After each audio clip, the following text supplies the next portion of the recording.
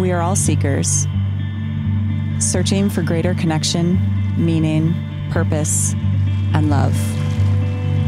We are encoded with an intelligence that desires freedom and seeks joy and beauty. Yoga is a practice that transforms us from the inside out, bringing us closer to our true nature.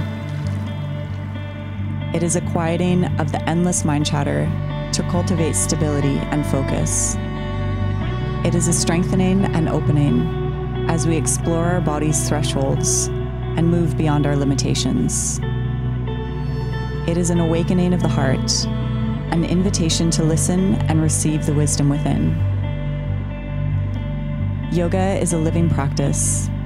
It's a way to align our intentions and our actions. It grounds us into the larger tapestry of life and reminds us that our unique voice, gifts, and way of being are essential for the collective.